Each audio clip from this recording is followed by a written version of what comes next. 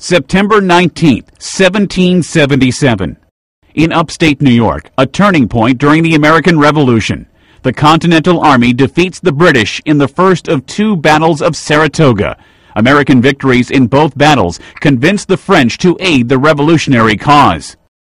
1881. In New Jersey, President James Garfield dies of wounds inflicted by an assassin two and a half months earlier. Vice President Chester Arthur becomes president, serving the rest of Garfield's term in office.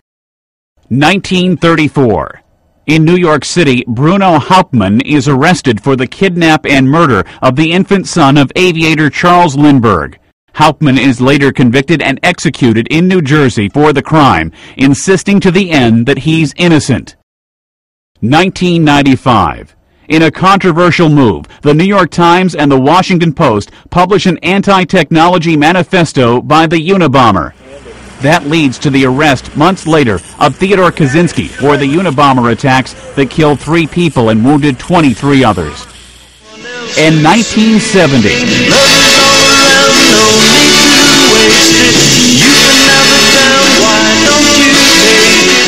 The Mary Tyler Moore Show, the classic TV sitcom, premieres on CBS. Today in History, September 19th. Ed Donahue, The Associated Press.